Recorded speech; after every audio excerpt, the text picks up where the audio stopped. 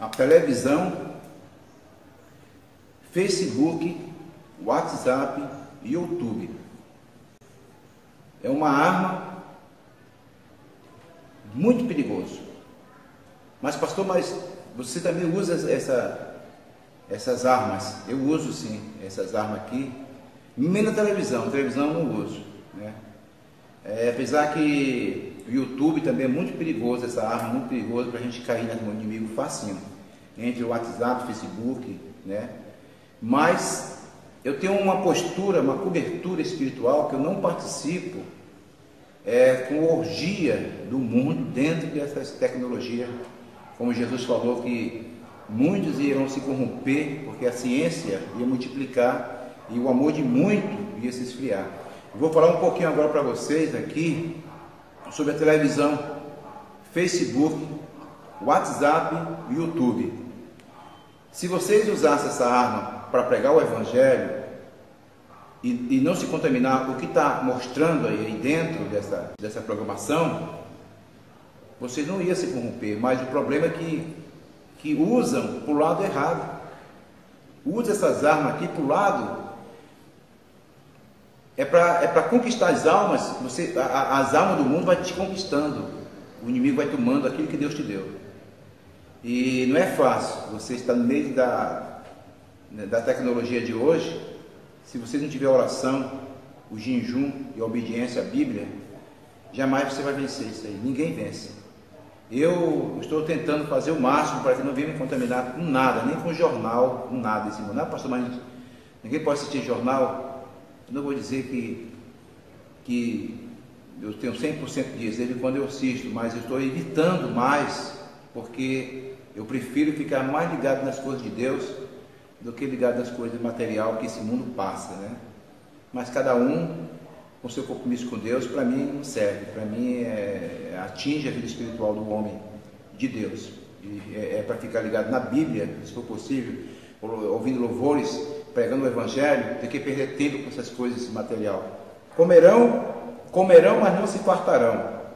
Entregar-se-ão às luxúrias, mas não se multiplicarão, porque deixaram de olhar para o Senhor. No verso 12: O meu povo consulta a sua madeira e a sua vara lhe responde, porque o espírito de luxúria os engana e eles se corrompem, apartando-se da sujeição do seu Deus. Agora, para você entender essa palavra aqui, não foi só dado para o povo de Israel, não. Está servindo para nós hoje. O que, que as pessoas estão comendo hoje que Deus nos agrada? Comerão, mas não se fartarão. Quais são as coisas que estão comendo? diante dessas imagens que Deus está irado. Desde aquele tempo de Oséias, que o Senhor usava o profeta para falar para aquele povo lá, para deixar o pecado. Quando a televisão foi já manifestada no Brasil em, 1900 e, é, em 1950, 49, 50, a televisão era uma era de madeira, né? Não sei se algum de vocês mais velho conhece, sabia disso aí. Algum de vocês sabe que realmente era de madeira, né? E a vara que aqui fala aqui, a vara era antena, né? O profeta já falou para a nossa geração de hoje. Deus já tinha usado o profeta, profeta Oséias, né? Então as pessoas que vão ler aqui vão ler por qualquer livro, não vão entender o que está escrito aqui, mas a gente que é espiritual, a gente entende, porque verdadeiramente a televisão ela é uma fonte que leva milhares para o inferno, porque o que, que tem lá dentro da televisão na televisão que você participa quando você está é, comendo, você vai sentar no sofá, aí você vai participar das novelas. O que, que a novela tem para te dar? O que, que um filme tem para te dar? O tempo que você é para assistir essas coisas, você vai para ler a Bíblia, né?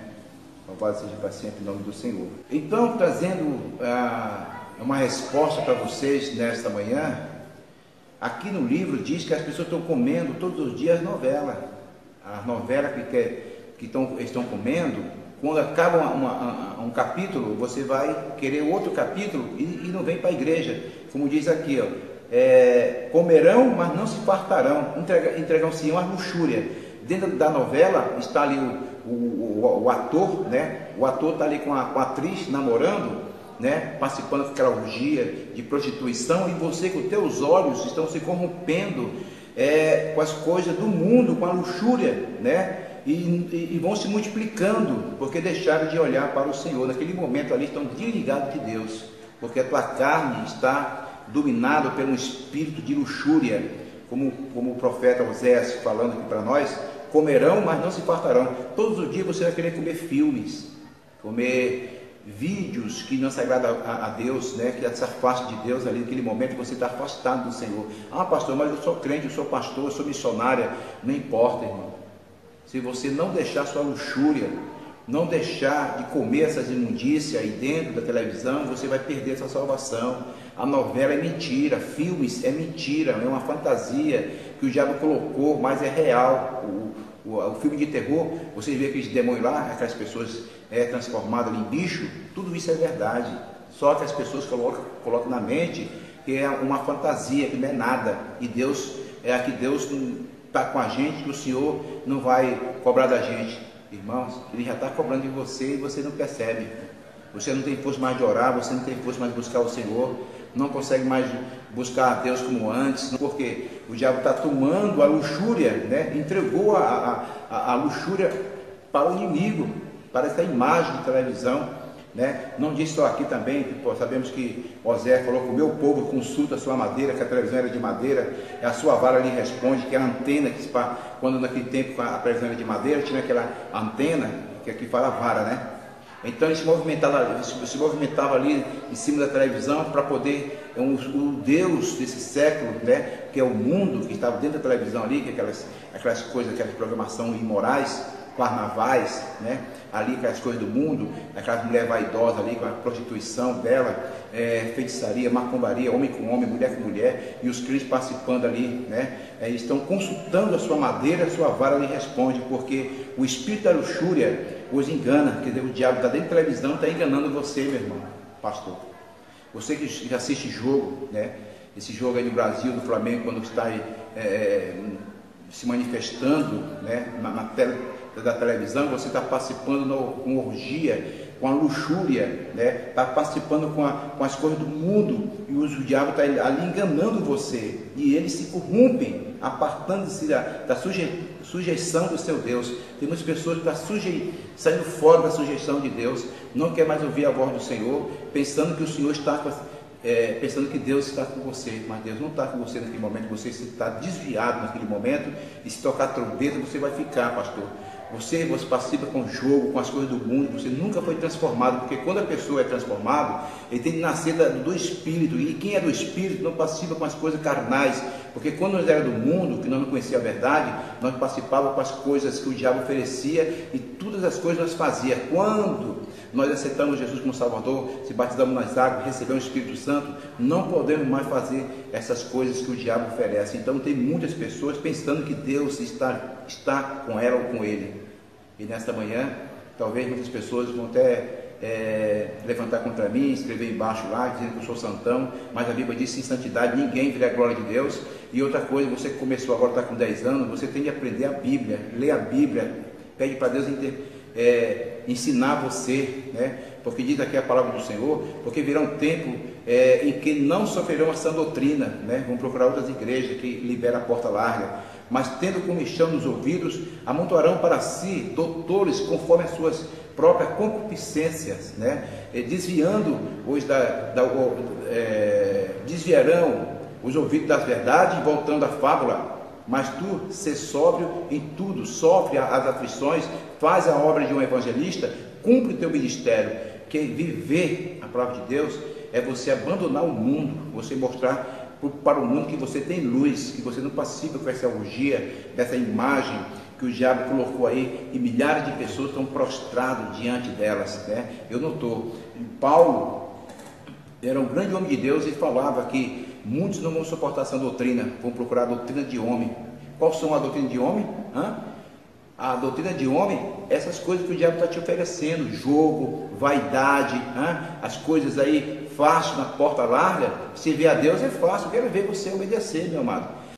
A Bíblia fala que o diabo, que era o Luz Belo, que é antes que estava no céu, ele conquistou o coração dos anjos. É que você vai conseguir vencer esse demônio se você não reconhece que você está em pecado, que você diz que Deus está com você. Deus não está no meio dessa sujeira e Deus também não usa um vaso sujo. ele vai usar um, um espírito maligno, vai te enganar dizendo que Deus está contigo. É mentira. O diabo está te enganando. Deus não está com você. Deus só está naqueles que têm um coração purificado, é liberto pelo sangue do Cordeiro, abandonou o pecado, transformado por dentro e por fora. Tem que dar um bom exemplo por fora e por dentro, irmão. Tem de ser fiel nos dois, interior e exterior. Né? Muitas pessoas podem ser corrompidas porque quer.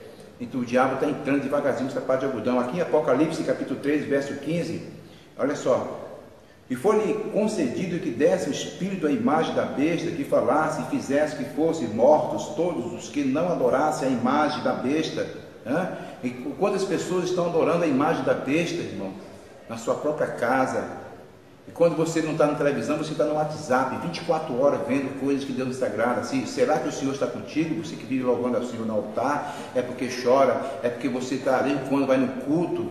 Ah, Deus está comigo. Aí depois de lá você vai diretamente para o WhatsApp e para o YouTube participar com as coisas mundanas, com as coisas que Deus nos agrada. Será que Deus está contigo, irmão? Ah, mas Deus me usa na igreja. Dom não salva ninguém. É isso que é o problema que o diabo está enganando as pessoas aí, pensando que vai ser salvo. Jesus disse que, o diabo vai se manifestar com um espírito de engano, que, vai enganar milhares de, de, gente, um espírito que engana, né? um espírito maligno do inferno, enganador, se for possível, enganarão até os escolhidos. E nessa manhã eu estou deixando para vocês, vamos sair fora da televisão, WhatsApp, Facebook, prega o Evangelho, amado, faz um vídeo aí, é, divulgue louvores espiritual, divulgue seu trabalho espiritual, prega a palavra do Senhor a verdade, para se esconder debaixo da Bíblia, atrás da Bíblia, para se esconder de, é, atrás do altar, seja um homem de Deus lá fora, dá um bom exemplo como, como um evangelista, cumpre seu ministério, como Paulo falou para Timóteo, é, porque muitos desviarão aos ouvidos da verdade, voltando às fábulas, voltando ao pecado. Você começou bem, está terminando bem. Tem que começar bem e terminar bem, meu amado. Então, é, as coisas que são dos ímpios. As pessoas estão imitando os crentes que servem o Senhor. Olha, olha só que, muitos crentes imitam os ímpios, aí, os ímpios, né? Salmos primeiro, né? É, Bem-aventurado o varão que não anda segundo o conselho dos ímpios e nem anda com eles, nem, nem se acenda com eles. Eu vejo pessoas aí participando com jogo, né? Ali, hum, vai lá diretamente no estádio ali, né? Muito com ímpios, participando com o discípulos, que era uma orgia junto ali, cheio de demônio naquele lugar, dizendo que Deus está lá, está contigo. Mentira, meu amado, você está longe de Deus, está longe de ser profeta.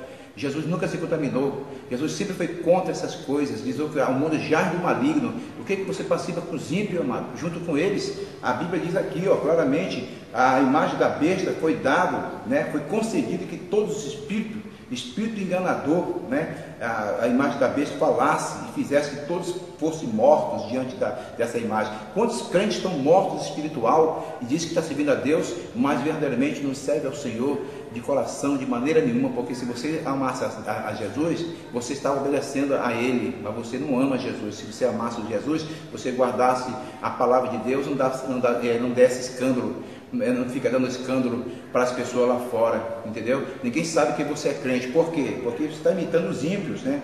Unhas pintadas, olhos pintadas, roupa transparente, shorts, calças compridas, né? Homem cabeludos que usa brincos, não é verdade?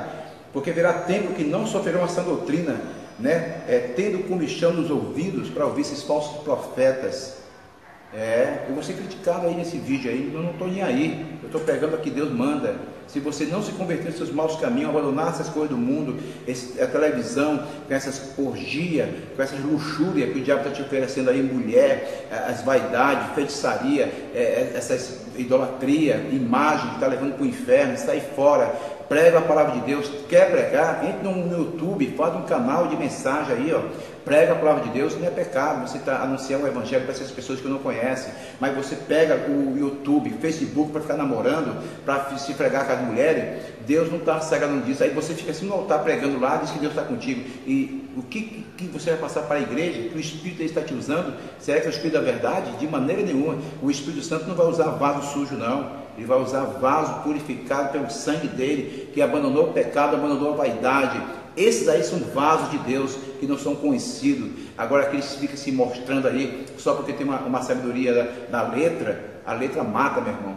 Paulo deixou a letra por esteco. Paulo ensinou pelo Espírito de Deus, deixou tudo para servir o Senhor. E nesta manhã, Se você não largar a televisão, você vai ficar no arrebatamento. Se você não largar o Facebook, gosta de namoro, entendeu? Ficar namorando escondido, você fica se apaixonando por mulher dos outros, Deus não está se agradando, deixando sua esposa por outra mulher, deixando, o diabo está acabando com os casamentos no YouTube, no Facebook, no WhatsApp, está acabando com isso, com o casamento de muitas pessoas, de, de pastores que já casou duas, três vezes. Não quero me exaltar não, eu casei só uma vez para sempre, em nome de Jesus, meu casamento é só uma vez só. Entendeu? Não posso participar dessas coisas, eu vou usar sim essa arma como YouTube né, e o WhatsApp para me orar pelo, pelo povo. As pessoas estão fracas na fé. Vivem em oração direto aqui na igreja, buscando o Senhor, santificando a minha vida, abandonando o pecado, abandonando a televisão, abandonando, abandonando essas vaidades que o diabo oferece, jogo, é, é, é, essas coisas do mundo aí, entendeu? Do mundo já era. Eu fui do mundo, já não sou mais, que não pratico mais essas coisas do mundo que o diabo oferece. Hoje tenho, tenho um bom exemplo como profeta de Deus, como homem de Deus, tenho mostrar meu exemplo um bom exemplo como, como soldado de Cristo, entendeu? Então eu deixo para você esta palavra, você que recebe, você que gosta de doutrina, você que gosta da verdade, continua comigo aí, me ajude a divulgar esse vídeo, o Senhor vai te abençoar, porque todos aqueles que participam com televisão, que participam com orgia do pecado, não vai ser salvo. Facebook, WhatsApp, YouTube, para o lado errado, você não pregar o Evangelho e fica participando com o pecado lá, lá fora, Deus vai trabalhar em você naquele dia vamos santificar nossa vida, vamos comer a palavra, vamos sair fora da televisão, das vaidades, das concupiscências da carne, dos olhos, vamos santificar diante do Senhor. Essa mensagem nessa manhã eu deixo para vocês e um bom, aliás, boa tarde, né? Nessa hora, Deus te abençoe. Fica na paz. Ora a favor do pastor Paulo, que eu preciso também das suas, da, da eu preciso das vossas orações. Eu quero que Deus abençoe a todos vocês. Muito obrigado, minhas irmãs, meus irmãos, que me ajudam a divulgar esse trabalho. Divulgue esse vídeo, espalhe esse vídeo para o povo aí, tá bom? Que o Senhor te abençoe e até a próxima, até o próximo vídeo. Amém.